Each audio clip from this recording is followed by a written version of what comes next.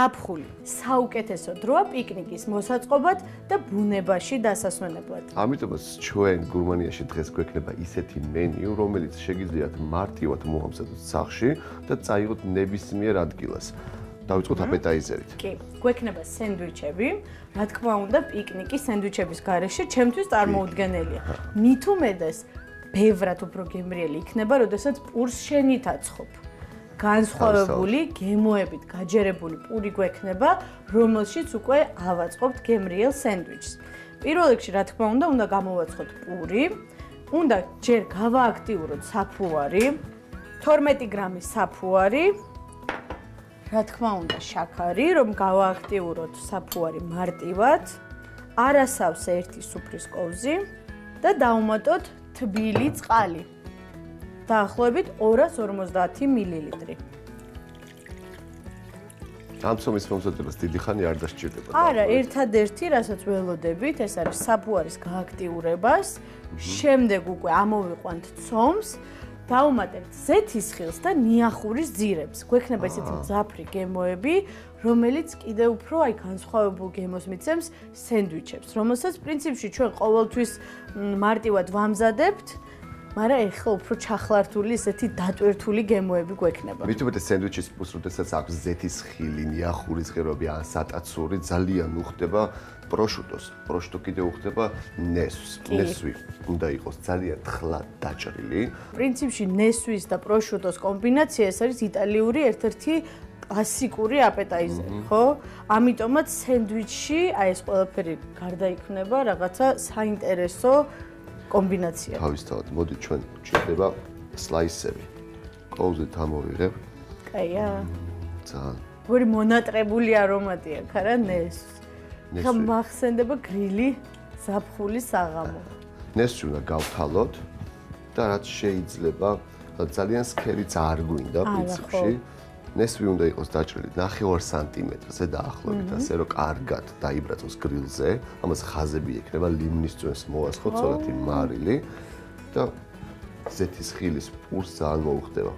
თხლად ვჭრით იმიტომ, რომ ჩვენთვის მაინც უჩვეულოა, ხო, ესეთი კომბინაციები, თქვა ნესვი, ლორი, მიუხედავად იმისა, რომ ძალიან პიკანტური და გემრიელია, მაინც შევეცადოთ, რომ ზომიერად დაუმატოთ ნესვი, რომ არ ჭარბობდეს, არამედ უბრალოდ ასრულებდეს და უფრო პიკანტურს ხდიდეს გემოს. თავისთავად, ნესვი დავჭერი უკვე.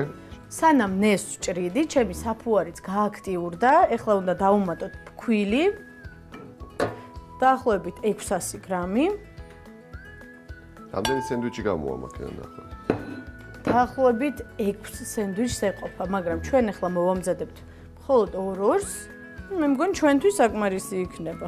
ეს გადავიდა თეფსზე და მოვიმზადებთ მეორე სენდვიჩის ინგრედიენტებს. ავოკადო. ავოკადო არის ძალიან სასარგებლო, მით უმეტეს პიკნიკზე რომ მიდიხარ ჭირდება ენერგია. მე ცომში დავუმატებ მარილს, დაახლოებით ნახევარი ჩაის კოვზი და ერთი ცალი კვერცხი. ცომი მივიღეთ საკმაოდ რბილი, რადგანაც მინდა რომ ფაფუკი იყოს პური. შემდეგ უკვე იმისთვის რომ ფორმა მივცეთ, ჩვენ ცოტა ფქულთან ერთად გადავზელთ, როცა ამოვა და ისე გადავიტან გამოსაცხობ ფორმაში. აჰა. ეხლა ვტოვებ ცომს დაახლოებით 9 საათით, რომ ამოვიდეს. სანამ ცომი ამოვა, მე მოვიმზადებ ყველა ინგრედიენტს. ავოკადოს დავჭრეს უბრალოდ იგივენაირად როგორც ნესვი.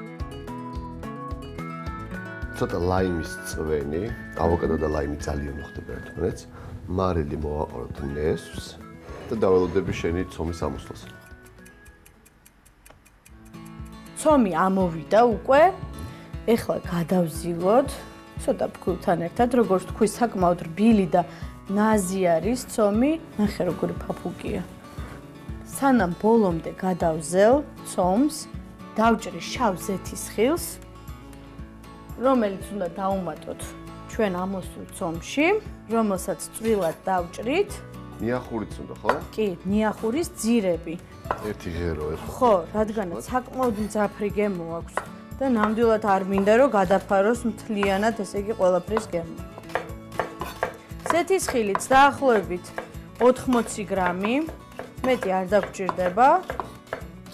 რა თქმა უნდა უყურკო ჯობია, რადგანაც მარტივად დავჭრით, მაგრამ ისე გემო, აი დაკვირვებული ვარ, რომ ზეთის ხილი, რომელიც ყურკით არის ხოლმე, თუნდაც კონსერვში, ბევრად უფრო გემრიელია ვიდრე უყურკო.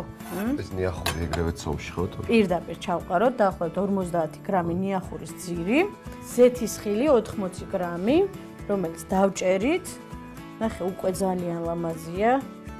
გადავზილოთ ახლა ცომი ერთხელ. აუ ნახე რა, კარგად გამოიყურება. ყველაზე მაგარი არის, როდესაც შენით აცხობ პურს. ნებისმიერი სენდვიჩი უბრალოდ ყველი და ლორიც რო იყოს, რა თქმა უნდა, ბევრად გემრიელი გამოვა. და ვიზუალურადაც უფრო ლამაზი. ნახე რა, კარგი იქნება, როდესაც გავჭრით ამ პურს და ეს შავი და მწვანე ლაქები გამოჩნდება. რაც თავარია, ცომი უნდა იყოს რბილი, მაგრამ ელასტიური. ეხლა ამ შემთხვევაში ხედავ, მაინც მომყვება, ანუ დამუშავებადია მარტივად. ეს იმას ნიშნავს, რომ კარგად ამოვიდა. ეხლა დამჭირდება სულ ცოტა ზეითუნის ზეთი, დაახლოებით 1 სუფრის კოვზი. გადავზილოთ, რომ ცხიმიც კონდეს ცომს, რომ არ მიიკრას თუნდაც ფორმამ. ეხლა გადავიტანოთ. აი ესეთ ფორმაში, ძირითადად ნამცხვარს ვაცხობთ ხოლმე ამ ფორმაში, მაგრამ ვფიქრობ, რომ რადგანაც ოთხკუთხედია, უფრო გამიადვილდება, რომ მივცე ტოსტის პურის ფორმა და იყოს ოთხკუთხედი და სიმეტრიული. მაგრამ შეგიძლიათ ნებისმიერ ფორმაში გამოვაცხოთ, თუნდაც მრგვალი იყოს. გადავანაწილოთ კარგად ცომი კუთხეებამდე მივიყვან. რომ თანაბარი სიმაღლე კონდეს შეძლებს დაგვარად. პურის გამოცხობას სჭირდება 200 გრადუსი პირველი 15 წუთი და ბოლო 15 წუთი უკვე 180 გრადუსი. კარგი რბილი რო გამოვიდეს და ხრაშუნა ზემო. პური გამოცხვა, ნახე როგორი ხრაშუნა არის ზემოდან. ამოვიღოთ ფორმიდან.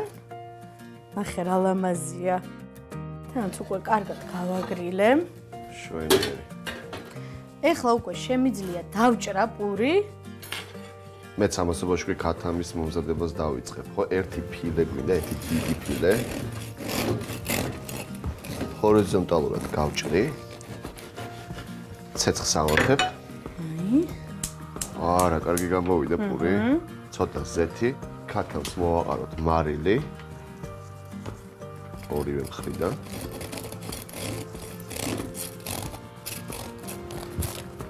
ქათმის ფილის შეჭრა დიდი ხანი არ სჭირდება და ახობით 4-6 წუთი. ამასობაში მე უკვე სენდვიჩისთვის ნეს დაუბრაწავ გრილზე. გრილი მაღალ ტემპერატურაზე ზეთი არ გჭირდება. პირდაპირ მოვათავსებ გრილზე. დაბრაწული და აქვს ძალიან კარგი არომატი. ცოტა მარილი. აქ არის უკვე ავოკადო, შეგვიძლია ნელა-ნელა დავიწყოთ აწყობაც. ანუ ბაზა ექნება 1 ძირზე პურს წავუსმევთ კრემყველს ორივეს. დაახლოებით 1 სავსე სუფრის კორძი კრემყველი გადავუსვათ ეხლა ლამაზად თანაბრად. აუ გარბილია ეცი შიგნიდან პური მართლა გენიალურია ნესვით რომელიც იქნება იმას ექნება რეჰანი ძირზე რეჰანის ფოთლები აი აქ დამილაგე.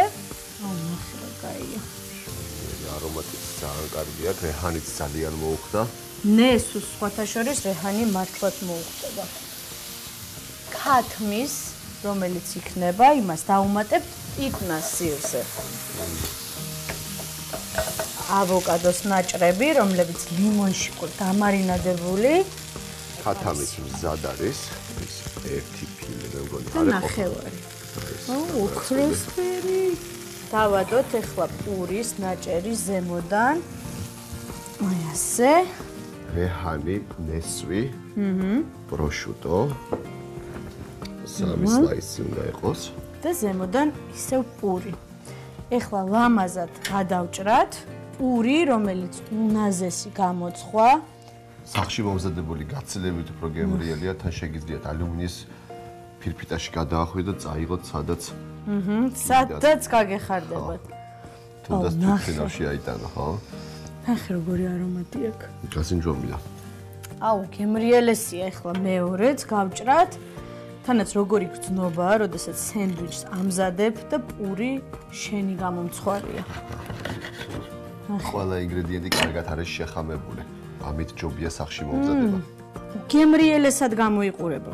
პური არის არომატული, შიქთავსი გემრიელი და ჯანსაღი და რაც თავარია საკმაოდ განსხვავებული გემო აქვს.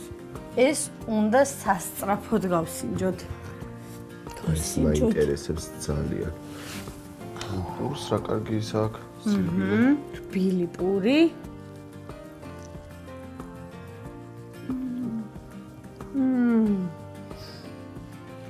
ძალიან მაგარია. პური არის ძალიან გემრიელი.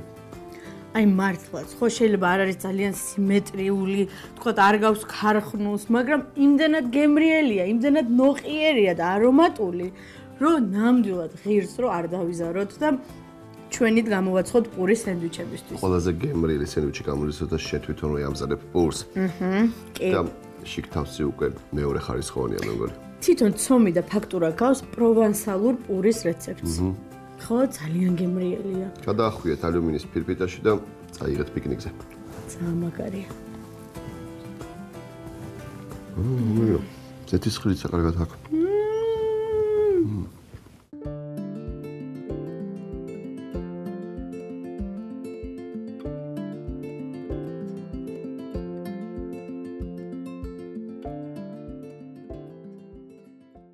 თავარი კერძი ღორის ხორცი ბამბუკის ჭყირებზე.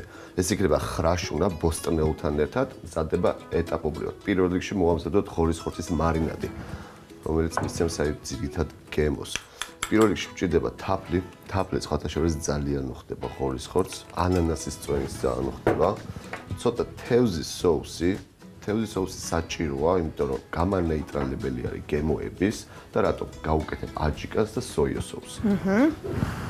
სოიო соуსი, აჯიკა პაპრიკასაც გავუკეთებ, ცოტა უფრო შებოლილი სქემო რო კონდეს. სოიო соуსი, ერთი სუფრის კოვზი. სოიო соуსში ბევრი მარილი არის, ამიტომ ყორისხორს ძალიან უხდება. აჯიკა, მეგრული აჯიკა. მოკლედ აზიურ მეგრული კი კი რატომაც სამზარეულო ხო ექსპერიმენტებია. ერთი სუფრის კოვზი, აჯიკა, ცხარე, თავის სუნელებით, პაპრიკა, ეს უკვე შებოლილის არომაც მისცემს. დაახლოებით ნახევარი ჩაის კოვზი. ცოტა ზეთი მინდა. აჰა. ზეთი. ცოტა ზეთი და ერთი კოვზი ტომატის პასტა. შეგიძლიათ კეჩუპიც გამოიყენოთ. ანუ რატო ავირჩიეთ ღორის ხორცი? რადგანაც ყველაზე წნიანია, ყველაზე მარტივად ინახება და არ იცვლის გემოს. მით უმეტეს გარსი, რომელსაც მოუმზადებს ვახო, ის შეანარჩუნებინებს აი სიგემრიელეს და სირბილეს ხორცის, ხო? გარედან ექნება სახამებლის და აი მარინადის ხრაშუნა გარსი, რომელიც შეინახავს, ასე ვთქვათ, ხორცს და თანაც ღორის ხორცი არ გამოშრება მარტივად, რადგანაც ნებისმიერ თუნდაც საქონლის ხორცი ჭხირებზე ძალიან სწრაფად გამოშრება თუნდაც გზაშივე. და თუ გვინდა რომ ავირიდოთ ადგილზევე მზადება და გვინდა უბრალოდ მივირთვათ გრილად საპიკნიკე საჭმელი წინასწარ მოვამზადოთ აი სწორედ აი ესეთი რეცეპტის კერძები. აუცილებელი არ გამოვიყენოთ სწორი ხორცის ნაჭერი, არ გვინდა ძვლიანი, აქ თუმცა ძვლიანითაც გემრიელია, ავიღე რბილი ღორის ხორცი და ეს ჩოლ კუბებად დავჭერით. ისეთ კუბებად, რომ ერთი ლუკმა იყოს. ეგრევე სოუსში შეგვიძლია მოვათავსოთ. აქედან დაახლოებით 4 ჩხირი გამოგვივა, ხო? კი, თავისუფლად მეგორი საკმარისია. მე და შენთვის ნამდვილად საკმარისი ორი ადამიანისთვის თანაც ასეთი სენდვიჩების მერე თავისუფლად გვეყოფა. ხორის ხორცის მარინადი პიკნიკზე იდეალურია. თან კარგად უნდა გავაჩეროთ ცოტა ხანი. აჰა.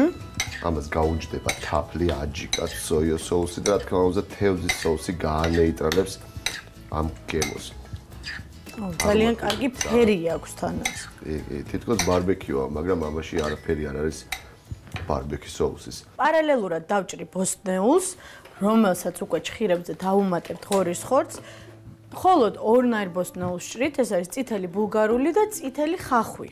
გადავჭრათ, გავასუფთავოთ, რა თქმა უნდა და დავჭრათ ცოტა დიდ კუბებად, რომ შემდეგ მარტივად ავაცვათ უკვე შამპურზე.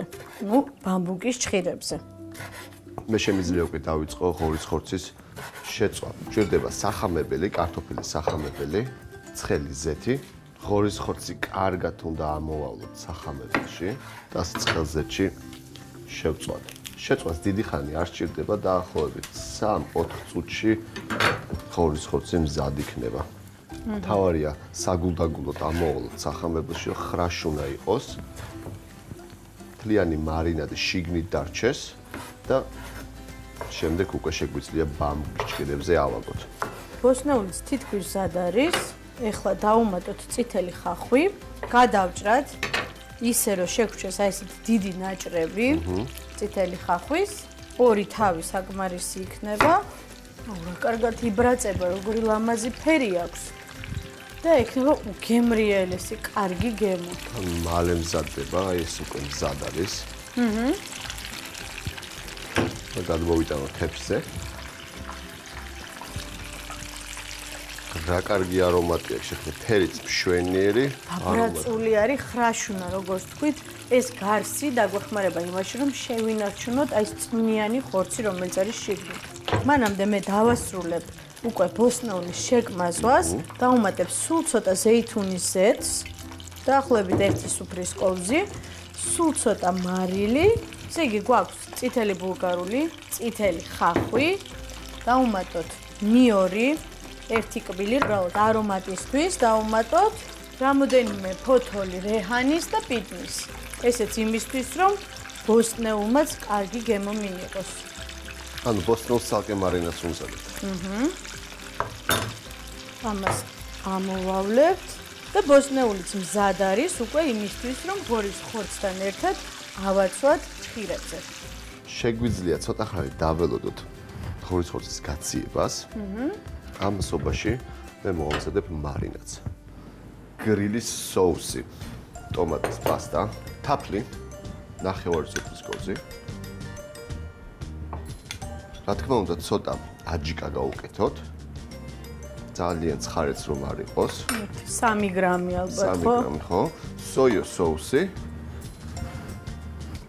პრინციპში იგივენაირი მარინადია, უბრალოდ უფრო თხელი იქნება, რომ კარგად ზემოდან გადაუსვათ და თევზის соусის გარეშე ვამზადებთ. ახალი არომატი აქ არ გვჭირდება, მაინც უკვე კარგად გაჯერებულია გემოები. კარგად აურიოთ, ცოტა ზეთი დავასხათ. გრილი უკვე წინასწარ გახურებულია. კი, საკმაოდ. შეგვიძლია უკვე ბამბუკის ჭხირებზე ავაგოთ ბოსტნეული და ღორის ხორცი. ღორის ხორცი, ხახვი, ბულგარული ციცაკა. შენ ნიორიც გაუკეთე ხო? ცოტა არომატისთვის. და ისევ ღორის ხორცი. თავისებურ არომატს, რა თქმა უნდა, შემატებს ის მარინადი, მსუბუქი მარინადი, რომელიც მოუმზადე ბოსნეუს, პიტნა, რეჰანი, ნიორი და ზეითუნის ზეთი. ცოტა მარილი. სამი ნაჭელი ღორის ხორცი. მეგონი საკმარისია და ზუსტად იგივენერად ავაგებ შემდეგ ბამბუკის ჭხირებს. ღორის ხორცი, ხახვი, ბულგარული და მე ისევ ღორის ხორცი. აუ ძალიან კარგად გამოიყურება. ისევ ხახვი, ბულგარული ციცაკა და ხრაშუნა ღორის ხორცი, დამარინადებული ღორის ხორცი. შვენიერი. ესეც ორი. მოდი სამი ცალი მოვამზადოთ და მეგონი საკმარისია. სამი ცალი მოვამზადოთ და დანარჩენი გავსინჯო. ხო.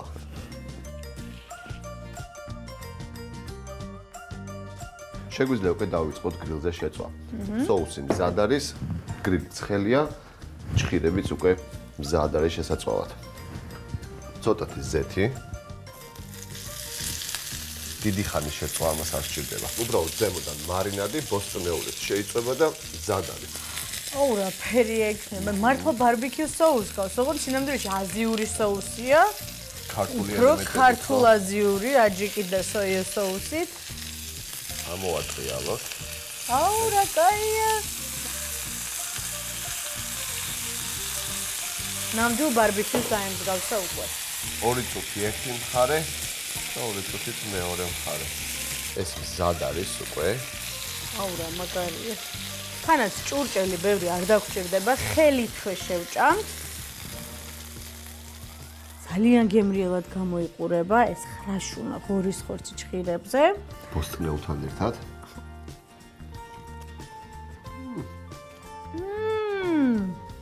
აჯიკამ რაღაც ტრანსფორმაცია განიცადა, ძალიან უცნაური გემო მიიღო. თაფლი აჯიკამ ძალიან უხდება ღორის ხორცს. ეს ნებისმიერ პიკნიკზე უნდა წაიღო. მე მგონი ყოველთვის უნდა წაიღო. ძალიან გემრიელია. მარწყვის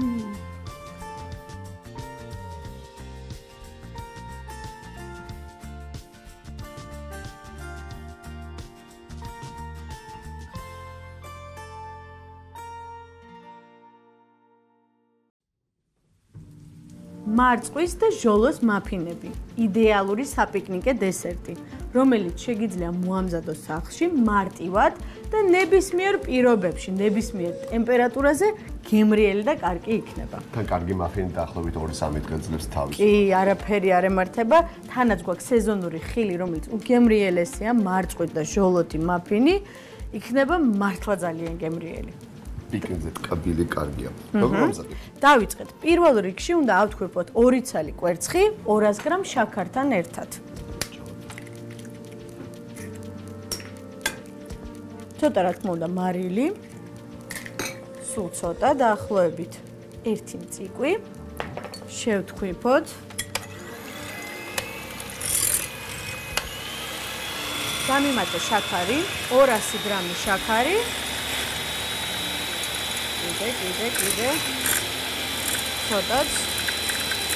ორი კვერცხი 200 გრამი შაქარი, გამაფხვიერებელი ნახევარი სუფრის კოზი, ანუ 7 გრამი დაახლოებით.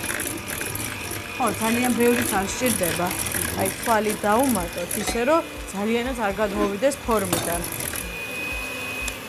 ეგრევე. საკმარისია, ესე იგი, მესამედი სუფრის კოვზი, გამაფხვიერებელი. ეხლა უნდა დავუმატოთ მაწონი. კარგი, მაწონი მახეს. ო. სამი სუფრის კოვზი მაწონი. ნებისმიერი მაწონი შეგიძლიათ გამოიყენოთ სოფლის თუნდაც ან ჩვეულებრივი მაღაზიის მაწონი. ვანილი, რა თქმა უნდა, ვანილი. ეს არის ვანილის ესენცია, რომელიც მე ძალიან მიყვარს. ნუ არომატი დაგაიგრე, დაახლოებით 4-5 წვეთი. და დავუმატოთ 250 გრამი ფქვილი. ანუ არასავსე ჩაის ჩიქა ფქვილის. რადგანაც მასა არც ძალიან სქელი არ უნდა იყოს და არც ძალიან თხელი. თვითონ ცხობითას ამოვა უკვე. აუცილებლად ძალიან მარტივი მოსამზადებელი არა, ხილს დაუმატებთ და გამოცხობა უნდა დაახლოებით 10-15 წუთი და მზად არის. შეგიძლია უამრავი გამოაცხო. შეინახო, მეორე დღესაც გამოიყენო. მოკლედ მართლა იდეალური შესანახი დესერტია. შვენიერი. შეგიძლია ხილიც დავამატოთ. კი, ეხლა უკვე მიქსერი აღარ დაგჭირდება, რადგანაც არ მინდა რომ ძალიან გაითქვიფოს ეს ხილი. მარწყს აი ესე. თლიანად. 50 გრამი ჟოლო და 100 გრამი მარწყვი. წვენი არ გვინდა. არა. ეხლა კოვზითვე ამოურიოთ. თანაც ნახე შეიღებება. კოვზით კარგად უნდა ამოურიოთ, რომ მარწყვი და ჟოლო არ დაიჭყლიტოს. ხო, თხილად ვურევთ. მიუხედავად იმისა, რომ მომწონს, რომ თქვა, იღებება ცომი, მაინც არ მინდა, რომ ძალიან დარბილდეს და აირიოს ცომში თვითონ ხილი. მინდა რომ როდესაც ჩავკვილჩავთ, ვიგზნოთ მარწყვის გემოც და ჟოლოს გემოც. ამასობაში მოვამზადებ მაფინის ფორმებს. ბოლომდე არ უნდა გავავსოთ, ხო? არა, რა თქმა უნდა, რადგან გამაფხვიერებელიც გვაქვს. ესე იგი, ნახევარზე ოდნავ მეტი შევავსეთ ფორმა. მინდა რომ აი თლიანი მარწყვი მოხდეს ერთი ცალი ცენტრში და შემდეგ უკვე დავუმატოთ თვითონ მასა. ეს თვითონ ფორმაში უკვე დაждდება და ამოვა. რომ წამოვიდეს ბევრი, პირიქით კარგია, მე მგონი ეს ხრაშულის ზედა ნაწილი გახდება და ეგ არის მაფინის უმთავრესი ნაწილი, ხო? კი, ცოტა მაღალი უნდა იყოს.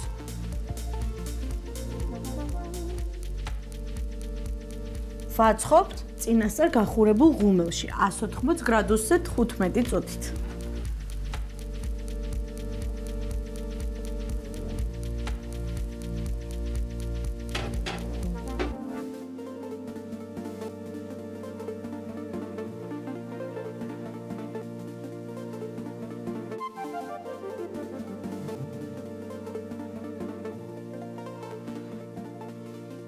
გემრიელად გამოცხვა ჩვენი მაფინები, ლამაზი ოქროსფერი გარსი აქვს.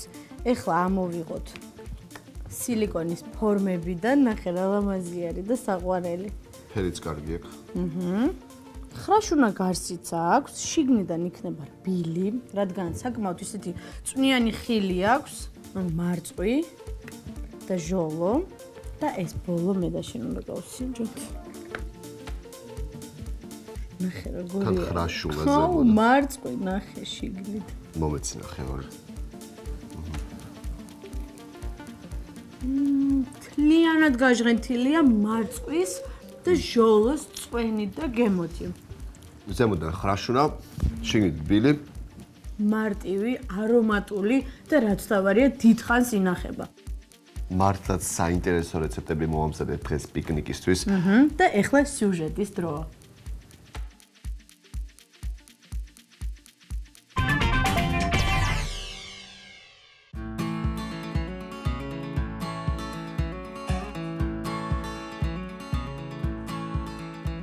გამარჯობათ. მე ვარ გელა აბუსერიძე, მუშაობ რესტორანში შევზაროულად. რომ არ ყოფილიყავით მზარეული, იქნებოდით ვიქნებოდი ალბათ მხატვარი, იმდენ რამდენად ძალიან მიყვარს ხატვა. ზერწვა და ალბათ ხელოვანი ვიქნებოდი კი. მიუხედავად იმისა, რომ პრინციპში ესეც ხელოვნება, სამზარეულო არის ხელოვნება. რომელი ქვეყნის სამზარეულოს გამოარჩევთ? თავისთავად ხალხი ქართული და პლუს ამას ხაზი მინდა გაუსვა უკრაინულ სამზარეულოს. ჩემი პირველი კერძი. ჩემი პირველი კერძი ალბათ ალბათ კერაც იყო ნამდვილად ასე. ვიქნებოდი დაახლოებით 10 წლის. მომზადე ქათამი. ქათამი მომზადე შრალად ხავში და მწანილებში. დედა შეუძლოთ იყო. და გონი გამომივიდა, იმიტომ დედას მოეწონა და თავარ შეფასებელი ალბათ დედაზე მეტი ვინ იქნება და უკეთესი. ესე იყო. რას ნიშნავს თქვენი გუნდი თქვენთვის? თუ შეთანხმებული არ არის გუნდი და ყველაფერი არ არის ორგანიზებული, არ გამოვა საერთო საქმე არასოდეს. სიმღერა, რომელსაც მზადების პროცესში ხშირად გიღინებთ ან უსმენთ. კოგიდოლიზე ასრულებდა მომლი მუხასაო. ძალიან კარგი სიმღერაა. აი გულთან ახლოს არის. როის ფასი სამზარეულოში? დროს სამზარეულოში ოქროს ფასი აქვს, ისე როგორც ყველა შესწავლის პერიოდში. ყველაფერი უნდა იყოს მიწოდებული მომხარებელსათვის დროულად და რა თქმა უნდა ხარისხის მაღალი დონით. 10 წლის შემდეგ მე ვიქნები აუცილებლად რესტორანში და აუცილებლად კულინარიაში. მე ძალიან დიდ სიამოვნებას ღებულობ იმაში, როდესაც ხედავ ჩემს მიერ მომზადებული კერძს მე ადამიანს რო სახელზე აქვს გაოფლების გზნობა. როცა მაქებენ, ძალიან უხერხულობას განვისთი. აი პატარა ბავშვი შეიძლება რომ გავწირდე. რისი გემო აქვს ბედნიერებას? ბედნიერებას აქვს საუცხოო გემო. და ძალიან ბევრს უსურვებდი. რა ის გემო ეპონოს და აი ბედნიერებისგან ფრთები გამოსმოდეთ და სულ ზეცაში ეფრინოთ ბედნიერებისგან. მომზად ძალიან გემრიელი კერძი. არაფერი განსაკუთრებული და არაფერი ისეთი აქ არ არის, რომელსაც ჩვენ ვერ ვერვებთ მაღაზიაში და ბაზარში. არის ხმოსხორცი, ბულგარულები, სოკოკანა და ბადრიჟანი. ასე რომ გემრიელად მიირთვით. ძალიან გემრიელი კერძია.